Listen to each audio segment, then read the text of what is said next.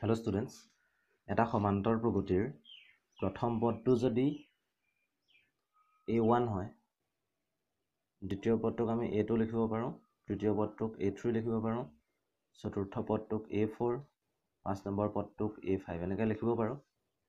তাতে সাধাৰণ অন্তৰ ডি বুলি এটা বস্তু আছিলে। এতিয়া প্ৰথম পদটো যদি এ হয় A one equal to A লিখিব পাৰোঁ। দ্বিতীয় পদটো কি হ'ব? প্ৰথম পদটোৰ লগত সাধাৰণ অন্তৰটো যোগ কৰিব লাগিব। তেনেকৈ তৃতীয় পদটো কি হ'ব? যোনটো দ্বিতীয় পদ আছিলে দ্বিতীয় পদটোৰ লগত সাধাৰণ অন্তৰ যোগ কৰিব লাগিব।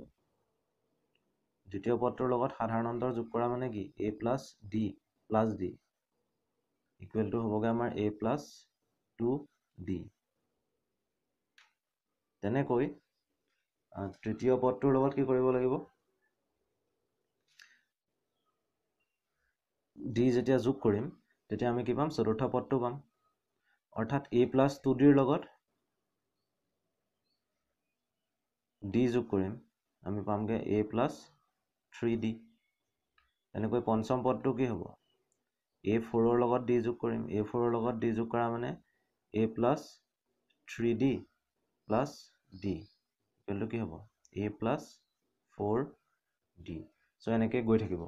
এতিয়া তোমালোকক দুই নম্বৰ যোনটো প্ৰশ্ন আছে ফাইভ পইণ্ট ওৱানৰ তাত কি দিছে চোৱা?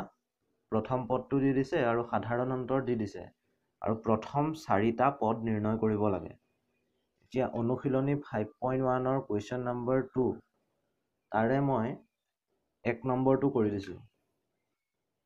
এক নম্বৰত দিয়া আছে এ ইকুৱেল টু টেন আৰু ডি ইকুৱেল টু টেন মানে প্ৰথম পদো টেন আৰু সাধাৰণ অন্তৰো টেন আমি কি কি উলিয়াব লাগিব?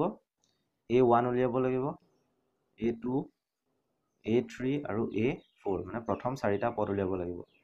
এ ওৱানটোতো দিয়াই আছে প্ৰথম পদ টেন হয়। দ্বিতীয় পদটো যদি আমি ইয়াৰ পৰা চাবলৈ যাওঁ দ্বিতীয় পদটো কি হ'ব?